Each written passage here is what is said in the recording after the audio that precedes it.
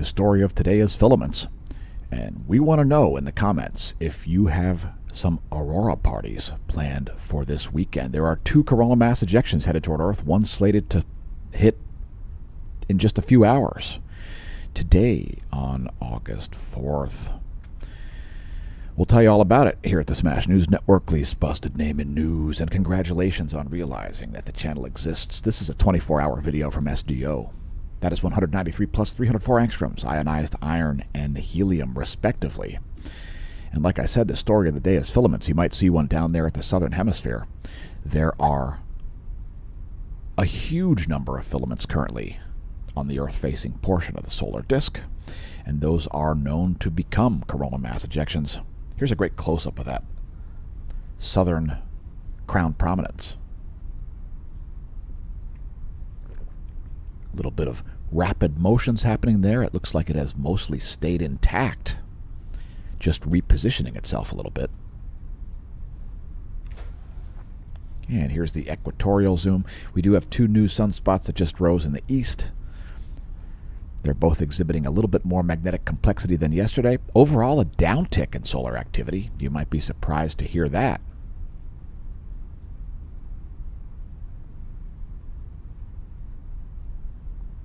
Most active region is in the west. Here is that northeastern new sunspot, and it does have a second large umbra trailing it there. So it is a beta gamma class sunspot, and there is a huge plasma filament trailing that, which we will show you later when we talk about coronal mass ejections. Here's the North Polar region. You can see a big prominence up there in the northwest also.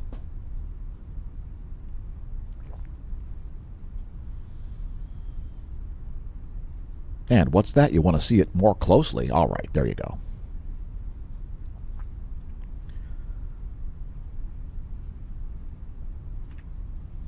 So there's the full disk zoom. And that is a 24 hour video, by the way. And let's talk about the channel for a brief moment. Don't be an imbecile. Did you know that imbecile is actually an adjective as well as a noun? Yeah. imbecile it is an adjective. So, in other words, don't be an imbecile imbecile. You could even add imbecile. You could say, don't be an imbecile. Don't be an imbecile imbecile. Imbecile. Of course, there are many imbeciles online, so we make our memes into products. If you'd like it on a hoodie or various other products, check out the Redbubble shop, links below the shop. Thanks to everybody who's picked up merch and everybody who watches these videos and who is not an imbecile. Today's featured product on the Amazon shop at amazon.com slash shop slash smashomash is B vitamins. Yeah, B vitamins.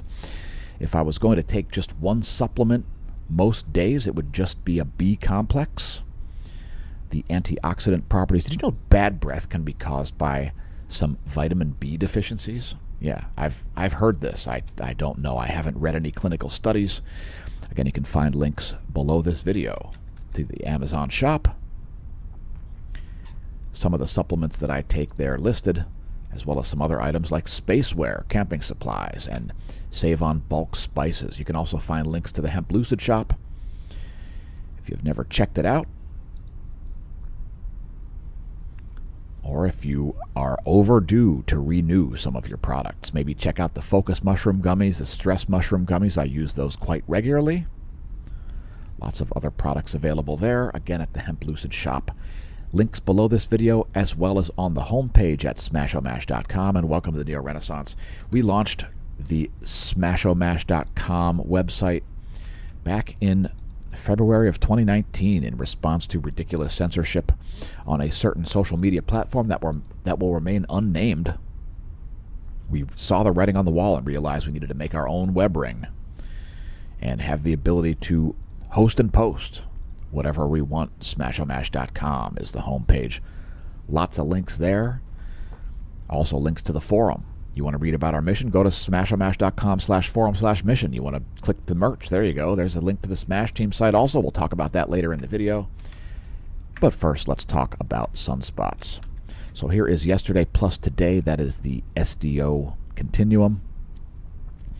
And no major changes in sunspots here. Uh,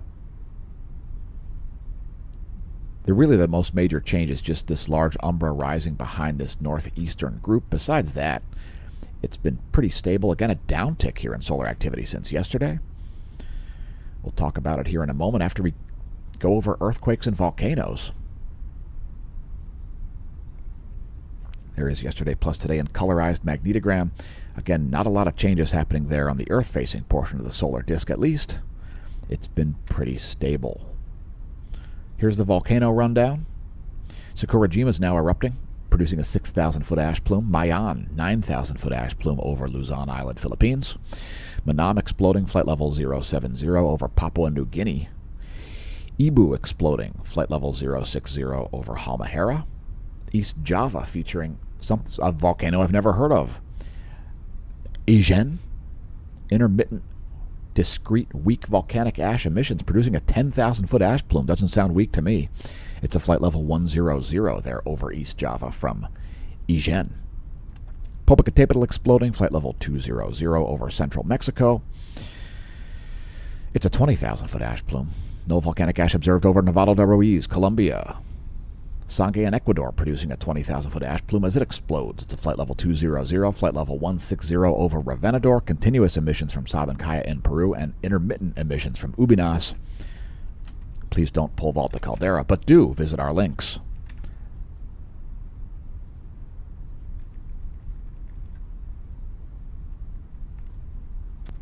And next, earthquakes. So, current situation is moderate levels of activity. And we may be seeing some foreshocks here in the Cascadia fault zone.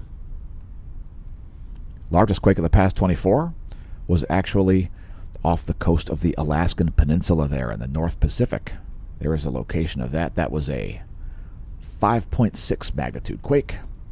Largest quake of the past 24 hours was an American quake. That 5.6 occurred at 1933 Universal Time 1933 Universal Time yesterday evening. So here come the quakes over a 5 magnitude. Not many.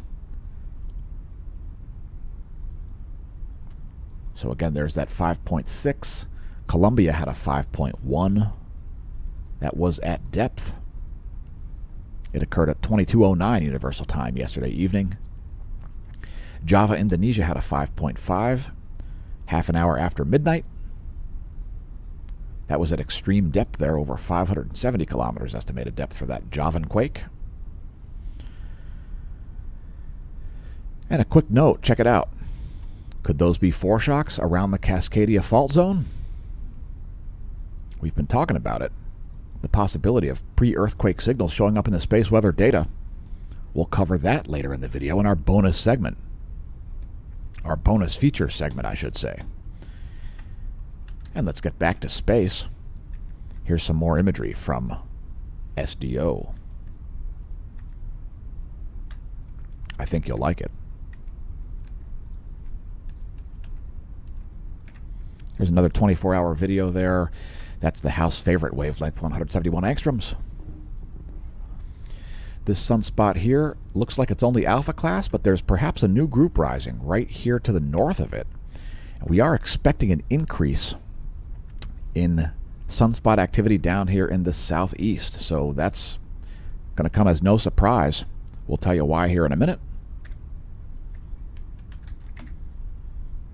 And let's get to some more statistics here. The 10.7 centimeter radio flux, which is, by the way, directly proportional to sunspot number, now all the way down to 163 solar flux units.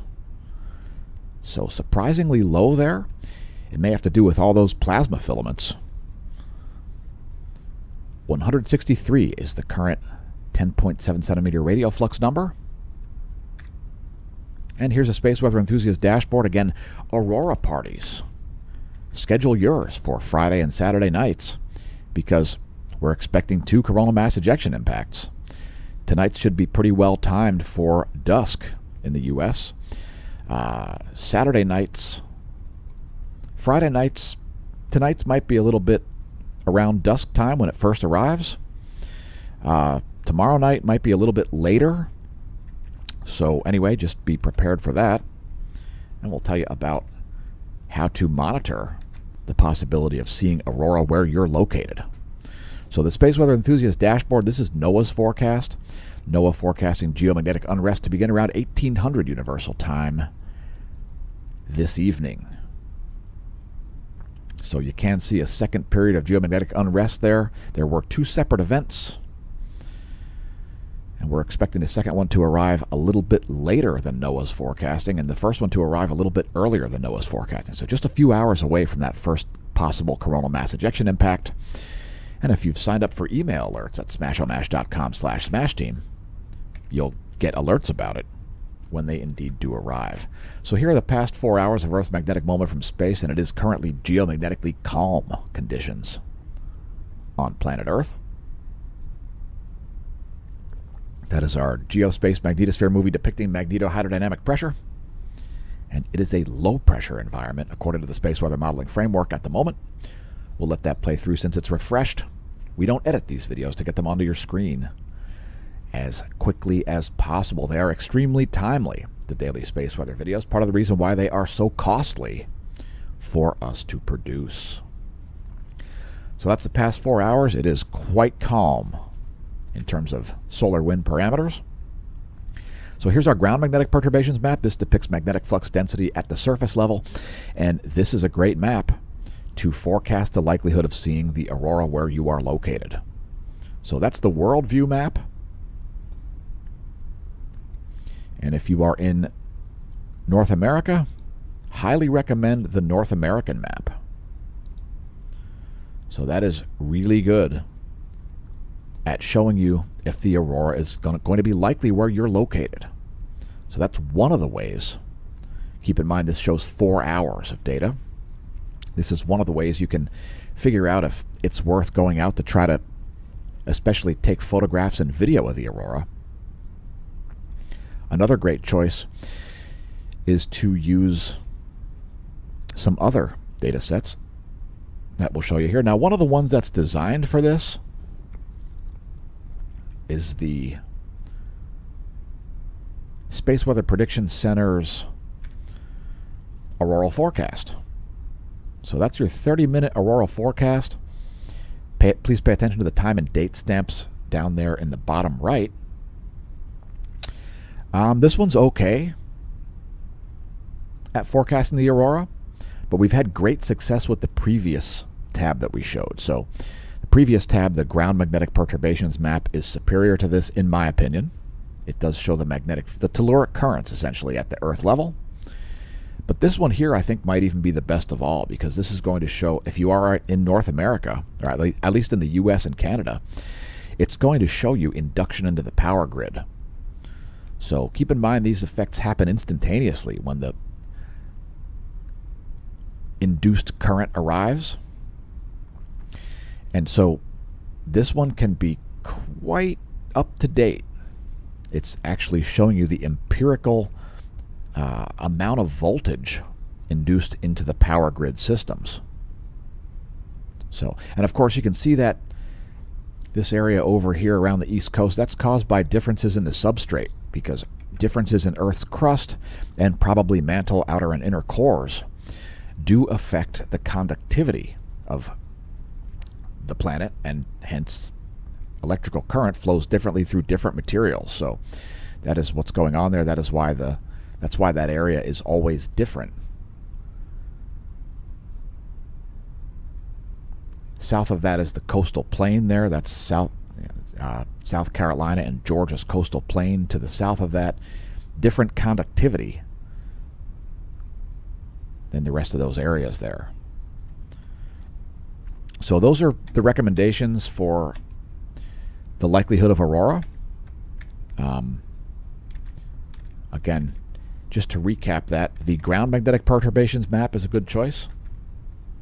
If you're not in North America, you can use the world map or you can even use the polar view. But there's the world map. You can also use the 30 minute aurora forecast. And you can also use this. Uh, this is called the Geoelectric Field Models US and Canada 1D and 3D empirical.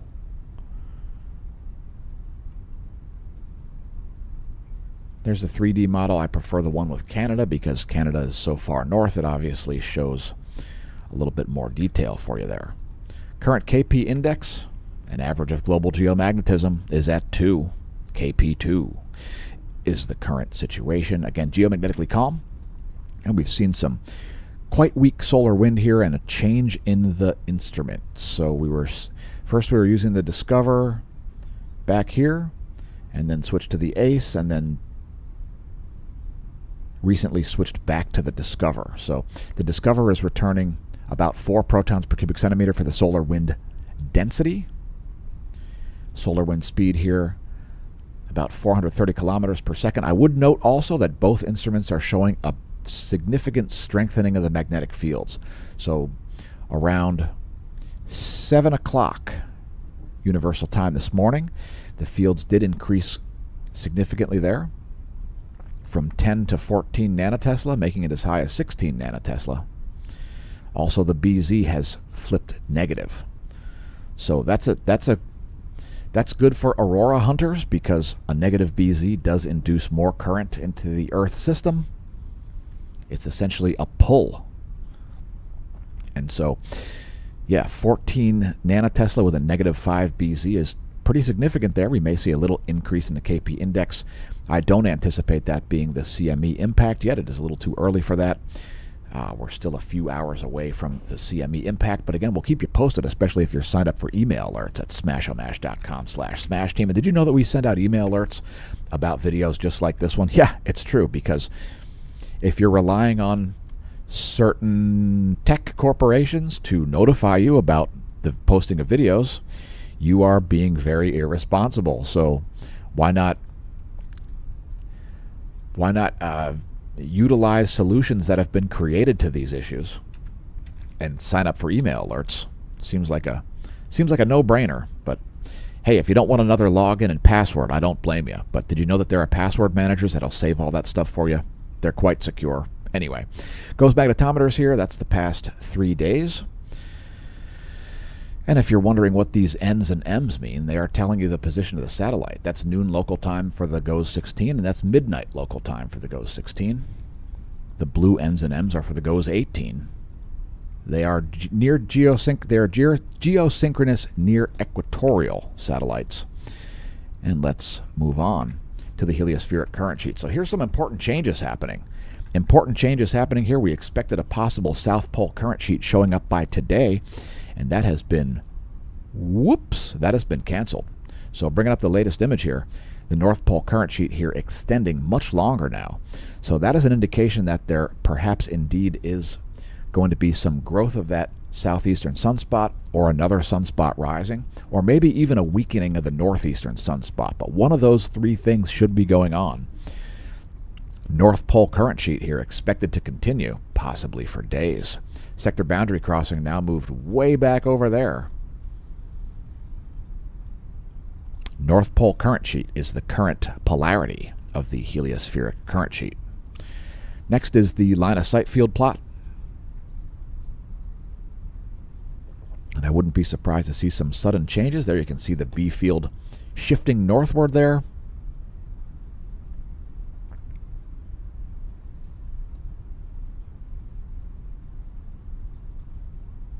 So North Pole current sheet will continue here. Uh, and again, the predictive value of the top view ecliptic plane field plot is quite extraordinary. Next, moving to coronal holes.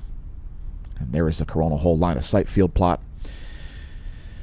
We've got all North Pole coronal holes in the Earth-facing portion of the solar disk, except in the northeastern limb. So there is the, well, the, just the northeastern quadrant, I'll say. So there is that situation, and let's get me off screen and get 211 angstroms on screen. So these are all North Pole coronal holes, except for up here there are some South Pole. And that sector boundary crossing, it is not showing up here. Keep in mind the magnetic environment can change suddenly and with basically no warning. Most well-defined coronal hole down here at the South Polar region. It is of North Pole orientation, as you can see there. And you can expect an uptick in coronal holes in the coming days, by the way, because coming days and months, indeed, because we've really had a coronal hole shortage, in my opinion, throughout this solar cycle. And let's move to sunspots. So no major changes here, uh, except maybe for the complexity of sunspot 3395. It is now beta gamma class. It does have a trailing large umbra. And it looks like a new sunspot is rising right here indeed. So we may see this one grow. This one might be a magnetically complex sunspot or both. And let's take a look at sunspots here. First in the SDO continuum, and then we'll show you some fantastic close-ups. So there's SDO Continuum. That is yesterday plus today. That's August 3rd and August 4th to date. Some changes happening to this sunspot here. Some evolution there. Some actually some umbral growth there. So that is a that'll represent a slight increase in the sunspot number. Although this this massive group down here that's setting will represent a decrease in the sunspot number. There's a very high likelihood of large solar flares, especially right in this area. So that's where you can expect to see continued activity. Even though this sunspot has set, it still has the possibility to produce an X-class flare or additional M-class events. All right, so next we'll move to our custom videos. This is 1600 angstroms. That's ionized carbon. And that is a 24 hour video. Here's a close up of the equatorial region. And we've got some extreme close ups, so let's cut to those. So here are the most likely groups to produce large flares. These groups are by far more likely to produce an X-class flare than any other portion of the Sun, save for maybe at the eastern limb. Uh, now we're unable to see a sunspot's magnetic complexity until after it rises, but we know these sunspots are magnetically complex and they are close to the limb. So those are the most likely places to see large flares, and you can see some brightening there. That is a surplus of ionized carbon in those regions, probably produced through nuclear fusion or perhaps even nuclear fission and fusion. But in any case, lots of carbon there being produced by whatever process in the extremely hot environment of the lower solar corona.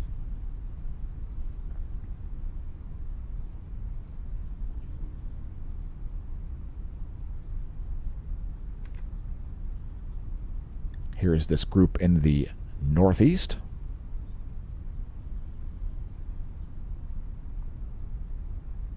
Also a good view of those closer to center disk sunspots there.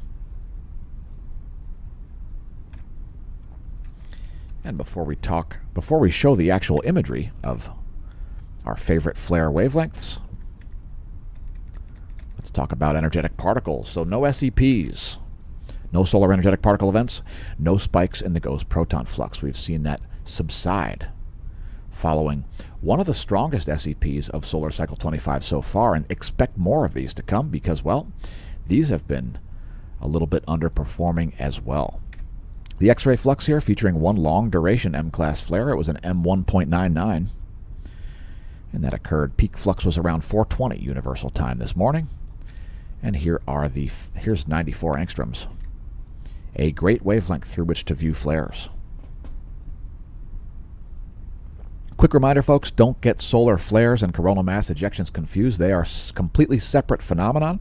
A solar flare is photons. In other words, high frequency photons ionizing radiation in the form of X rays. Coronal mass ejections are the ejection of gas out of the solar corona. That is protons. So, a great way to remember the difference between photons and protons is stand in front of a flashlight. You'll have light shining in your face. Those are photons.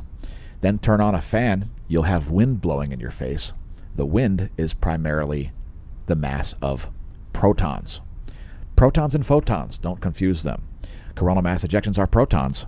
Solar flares are photons. Separate phenomenon. Here's the equatorial zoom. And that M2 event did come from that region to the north of our Earth scale. And there it is, happening around 420 Universal Time this morning. And here's an extreme close up for all of you stargazers out there. Thanks for stargazing with us. The most interesting star to gaze at is the closest one. As some people seem to be figuring out the way that thing works in reality. Reality, it is a strange thing. Space, it's a lot stranger than you might think. And if some current theories are the actual scenario that's going on, did you know that stars are probably a lot more stable than mostly anybody believes? It's crazy. It's crazy to report that stars are less volatile than practically anybody believes. okay. So this is what's going on over the sky, over Lehigh Valley in the sky. We encourage our viewers to look up. Here's a star chart for you. And uh, yeah, we've got a setting gibbous waning moon there and setting Saturn, Jupiter high in the sky here as the sun is only a few degrees off the horizon. That's skyandtelescope.org star chart. Here's your solar system forecast. We show it daily because people are concerned about Venus being in retrograde or something. It does a thing. It's it's uh, it's it's exacerbating your relationships and draining your resources or something. So yeah, uh, that's where things are today. Let's advance this one week. That's where things will be. In a week, we will have a crescent waning moon by that point. And today's astronomy photo of the day, you might think it's a sunrise or a sunset. So let's scroll down. And not at all. That is moonbeams. Yeah, Moonbeams by Gianni Domino. Gianni Domino. The supermoon of 2023.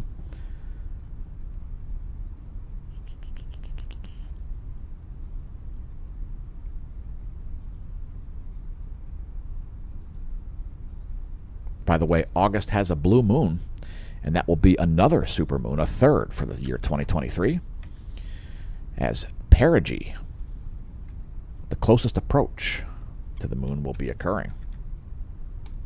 That's apod.nasa.gov if you want to check it out yourself.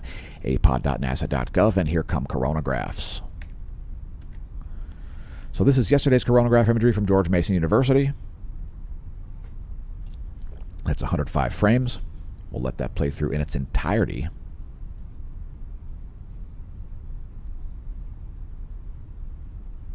Couple CMEs there. None appear to be earthly directed. Whoops. Let's go forward to today's CMEs. And there may have been one associated, there was one associated with that 420 M class solar flare. I don't suspect it is earthly directed based on the existing imagery there, but those, those are only 17 frames. So if that does appear to be an earthly directed CME, we will let you know probably with another video, or maybe on tomorrow's Daily Space Weather. Here's C3 along with the C2, which is what we are just showing. Does not look like an earthly directed coronal mass ejection from this morning. So just two CMEs this way, one slated to arrive in just a few hours, one slated to arrive late tomorrow night, Universal Time. August 4th and August 5th. Friday and Saturday night, great nights for Aurora parties. Make sure you schedule yours. Now we're going to look at Stereo A, and you know, keep in mind that Stereo A is about to become Stereo B, and Stereo B is now ahead of Earth, actually. So those spacecraft are Stereo B is moving this way, Stereo A is moving this way, and slowly overtaking Earth and uh, it's stereo stereo A. It stands for ahead, and it's actually about to fall behind. Seeing space weather, seeing space weather later than what's appearing on Earth. Anyway, here are the latest coronagraphs. This is stereo A over here on the left. And there is that CME from this morning. Does not appear to have any earthly directed components. It looks like it will miss Earth well to the west. And there's LASCO C3 once again. How about some custom coronagraph videos? Here are our here are our 24-hour videos. And just a bit of a light show there. No earthly directed components. Here's the huge plasma filament I was talking about earlier in the video. It did create one small CME, but it is still suspended there. So uh, you can expect to see additional CMEs coming in the next days. The likelihood of more coronal mass ejections between now and tomorrow's daily space weather video is 99.9%. It's basically 100%. I guess there could be some weird scenario where no additional CMEs happen tomorrow's daily space weather video will feature more CMEs. You can mark my words on it. So that's another 24 hour video there. SDO 193 angstroms and the Soho Lasco C2. Here we'll zoom in a little bit closer. Just 193 angstroms. Which brings us to filaments. You might be able to see some filaments on that imagery. We showed some earlier in the video. Let's take a look at the hydrogen alpha imagery from El Teide, Spain. So there is El Teide, Spain's ground based hydrogen alpha telescope. And that is a lot of filaments. So you see all of these dark absorption features like this one here, which is looking increasingly unstable. That's the same area where the uh, August 4th and 5th CMEs came from. Huge filament down here, huge filament here, huge filament here, and a huge filament here, and don't forget this one, and there's another, there's another. So that is a lot of filaments. I'll just say that. Once again, likelihood of coronal mass ejections and the possibility of Earth-directed coronal mass ejections very, very high. Here's 304 angstroms. This might be a good wavelength to view filaments as well. Ionized helium, And this filament is still hanging out here, I think, but it is looking increasingly unstable. So expect CMEs, coronal mass ejections, when the sun ejects huge amounts of superheated gas from its atmosphere.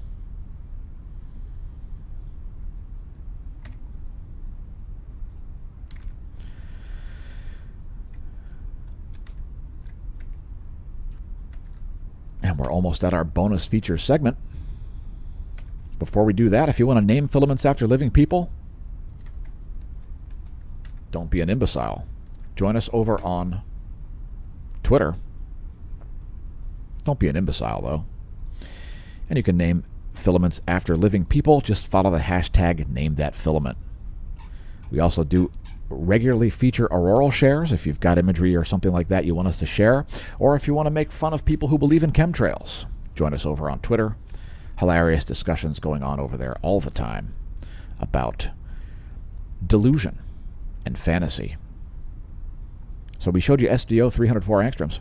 Here's GOES 16 SUVI 304 angstroms. This is just not a 24 hour video. This is just the past about two and a half hours.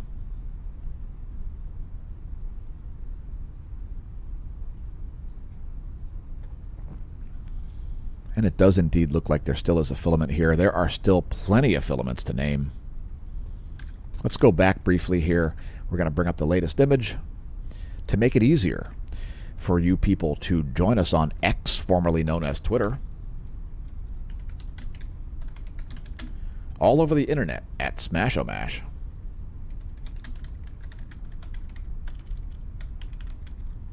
Name that filament after living people. It seems appropriate because, well, filaments are lively, and uh, so name them after living people. Seems to make sense. Which brings us to our bonus features segment. Satellite charging hazards are the first thing we'll look at, and there are none. It is smooth sailing for satellites here. No surface or internal charging hazards. No electrons building up on or in satellites. GOES electron flux here very low. We can expect to see this stay kind of low for the next couple of days. I would not expect an uptick until sometime around Sunday.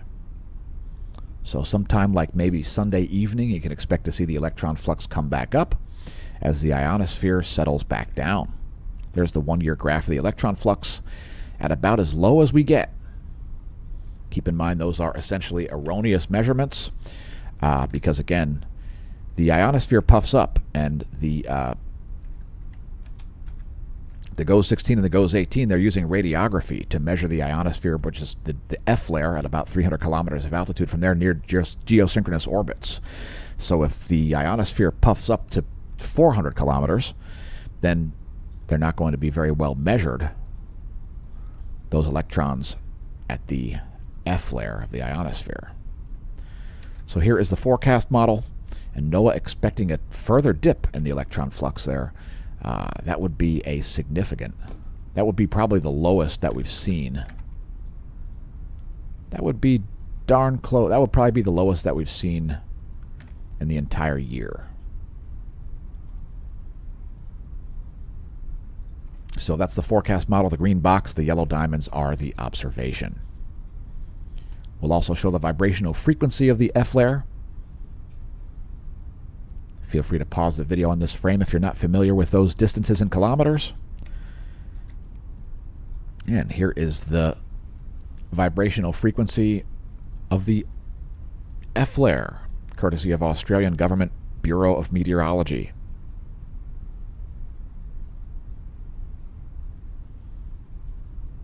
We are seeing mainly low frequency anomalies, and you can expect to see a lot of red on the anomalygram on tomorrow and indeed on Sunday's daily space weather videos, so make sure you don't miss those.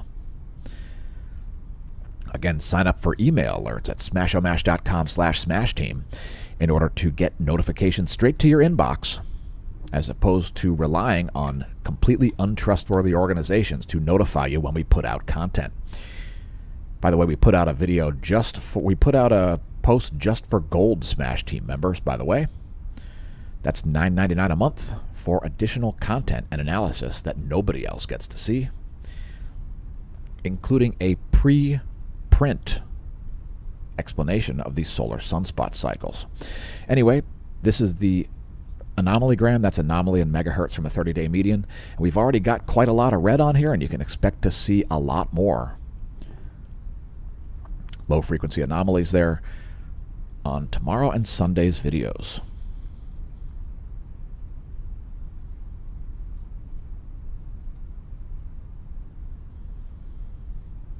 Let's bring up the latest image here. There's 11:15 universal time for the for the ionogram, and there is 11:15 universal time for the anomalygram. Low frequency anomalies in the northern hemisphere, high frequency in the south. It is winter down there. That is pretty sensible based on the current solar wind parameters and plasma environment surrounding planet Earth.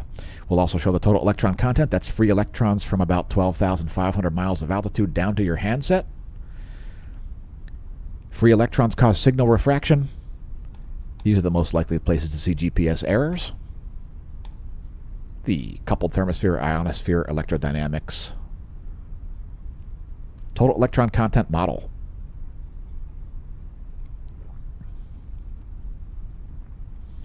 And things are looking pretty organized here. So less anomalies than we saw a week ago.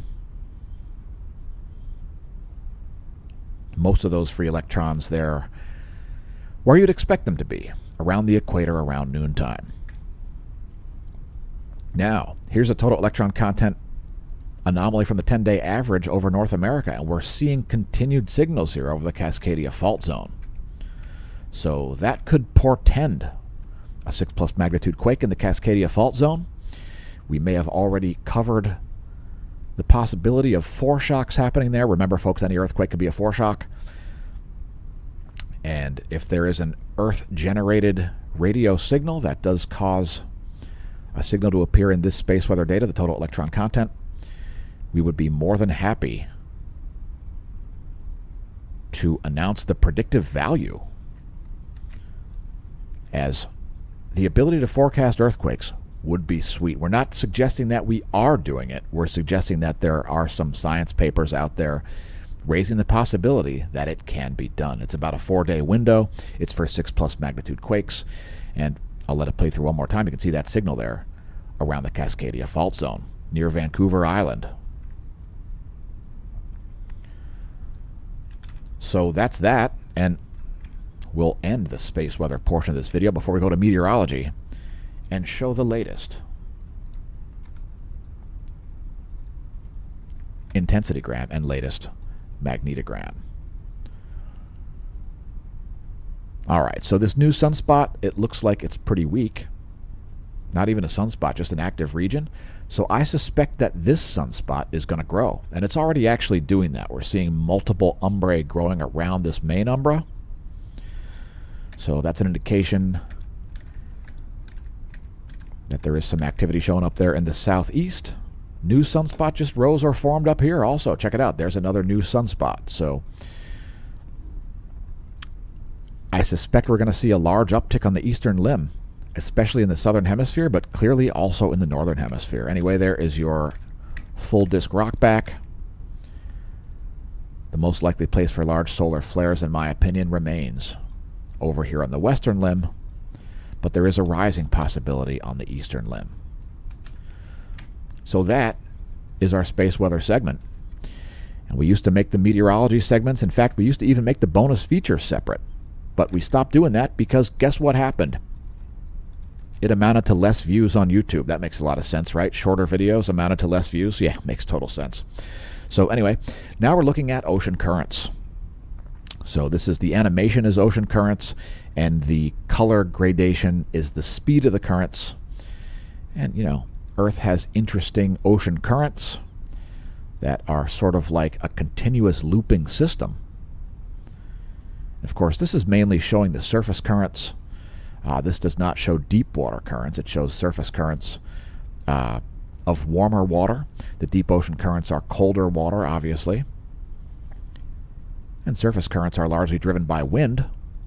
Deep ocean currents are uh, mainly caused by heat exchange.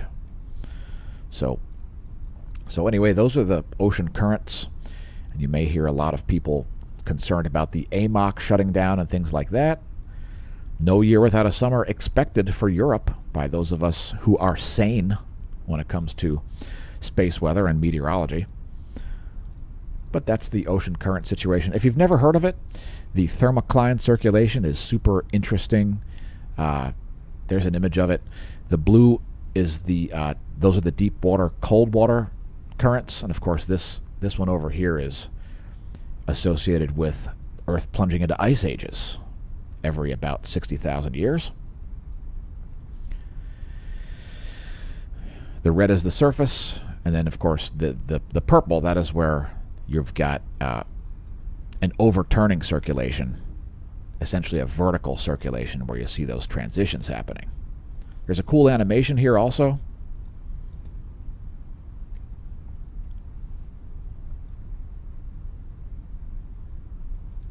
And you can check out that Wikipedia article yourself if you like. And let's switch to our regularly scheduled meteorology segment. So here is the a jet stream environment for the eastern world. Shout out to our viewers from all around the planet. The jet stream blowing backward there over the western Pacific and the northern Indian Ocean. Here are the surface winds. And if you're viewing the video from this area right here, make sure you press the share button. Since there are like 3 or 4 billion people in that tiny area, press the share button. Our exposure to that market is almost nothing. Here are the surface winds of the central world. And here are the jet streams. It looks like a cold day in places like in places like France.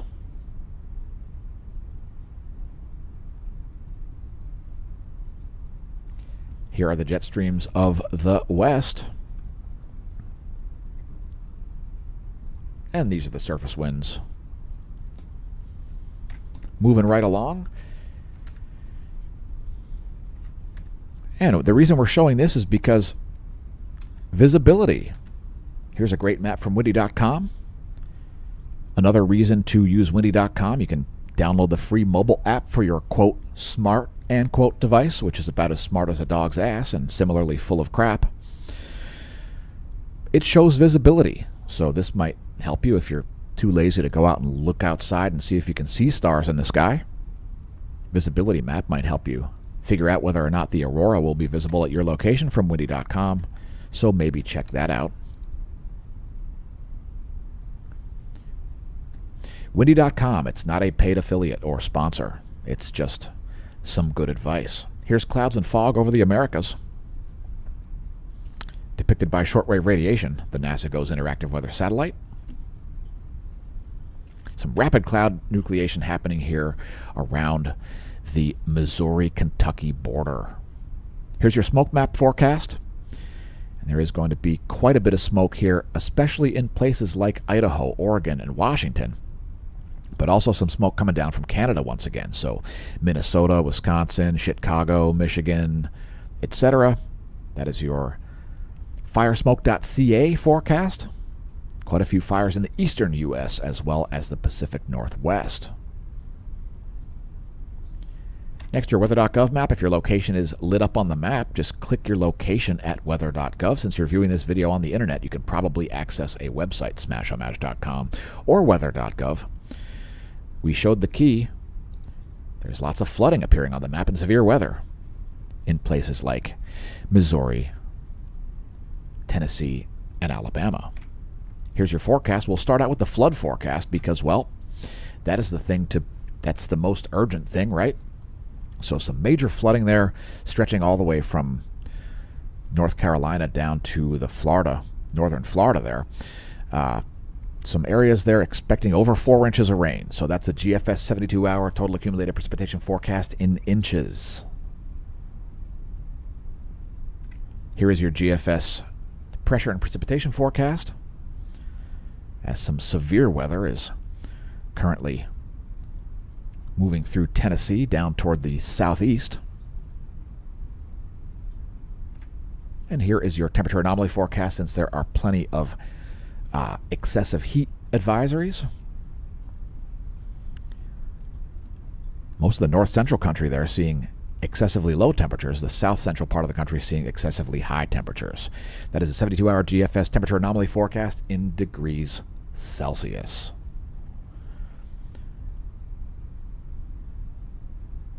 Next, Lightning Mapper. Check out the extreme lightning conflagration happening there in Missouri, Kentucky, Tennessee, and Alabama, especially. That is serious lightning. And let's see where the current strikes are here at lightningmaps.org. Next time you hear thunder, highly recommend it. You'll be able to forecast thunderclaps and convince people that you're Zeus or something like that frighten the natives by forecasting thunder. It's a good time. Birmingham, Alabama, there is uh, just southwest of that cell. This cell up here is uh, uh, near Dyersburg. And more cells here. It's a long chain of chain lightning.